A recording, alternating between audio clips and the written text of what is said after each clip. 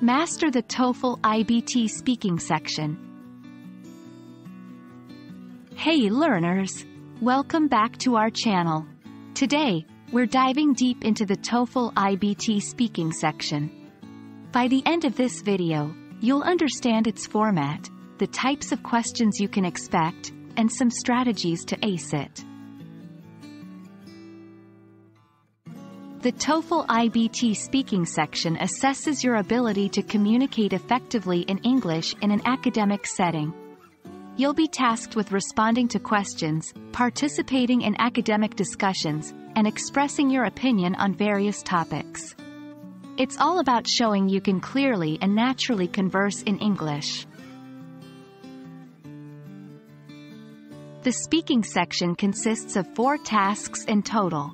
1. Read Listen Speak tasks, tasks 1 and 2. You'll read a passage, listen to a recording, and then respond to a question based on the content. 2. Listen Speak tasks, tasks 3 and 4. You'll listen to a recording and then respond to a question. In total, this section lasts about 17 minutes. Let's break down those tasks. 1. Task 1. Campus situation. This typically revolves around campus-related situations.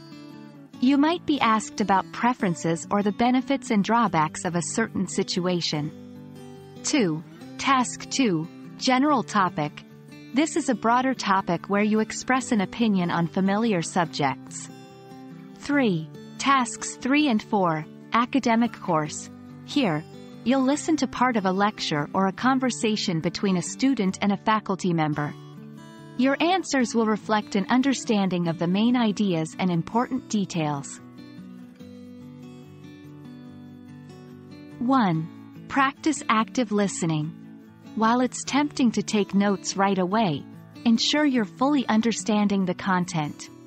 For the read, listen, speak tasks, Jot down main ideas quickly from both the reading and listening sections. 2. Structure your responses.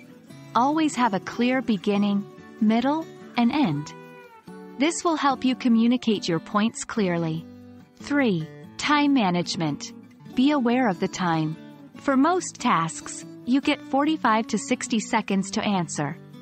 It's essential to be concise yet comprehensive. 4. Practice, practice, practice.